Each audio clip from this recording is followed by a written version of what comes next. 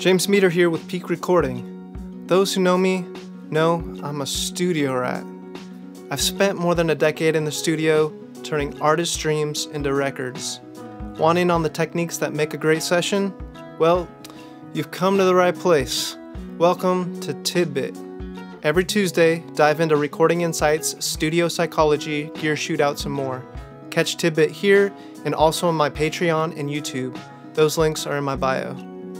Each project I'm on is a new lesson, and connecting with fellow music enthusiasts is a pure joy.